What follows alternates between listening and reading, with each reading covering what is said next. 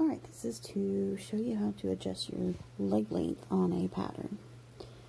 So you go with your desired inseam, which mine is about three and a half inches, add one inch for the hem and five eighths of an inch for the seam allowance for when you sew to the crotch. Alright, measure from the top of the inseam down your amount, which mine ended up being about five inches. Make a mark, and then you need to draw a line that is going across the leg and this line needs to be perpendicular to the grain line okay? And I'm just going to use my measuring tape to draw across and I'm also using the lines on my measuring tape to make sure that it is perpendicular to the grain line.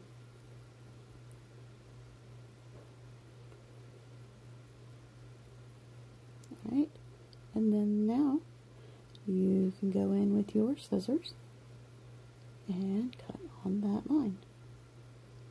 There you go. Whew. That leg length is gone. However, it is not trash yet. Keep it in a safe place. And just like with the crotch depth adjustment, whatever you do to one leg, you need to do to the other. So it's the same process. Measure from the top of the inseam, whatever your leg length measurement is. Make a mark. Draw a line perpendicular to the grain line all the way across the leg and cut on that line. Now, if you were making pants and you just wanted them to be shorter, maybe you're a petite person, who knows? Then you would use the adjustment lines that the patterns already offer further down the leg. But since we're just trying to make shorts that you would more likely be able be likely to wear in your house this is how we're rolling. Okay again not trash. Now because I changed the length of the shorts I also want to try and change the length of the pocket because otherwise the pocket might just come out so remember the very bottom of the shorts is going to be dedicated to the hem. And I'm just turning it up, I think about an inch, maybe a little bit less. And that's just so when we lay the pocket down, we don't think we have more fabric than we actually will have.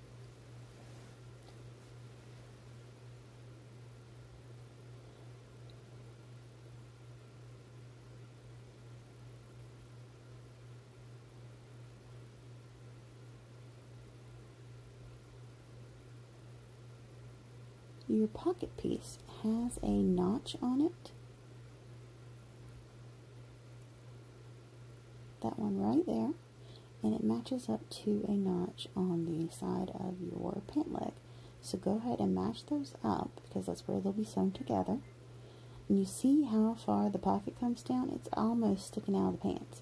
So I'm just gonna lift up the pocket piece some to shorten it. Pocket. It's going on the inside. Nobody sees it. Who cares what shape it is? I don't. I do want to keep that side seam, so that's why I didn't go all the way up to that, where that little corner is.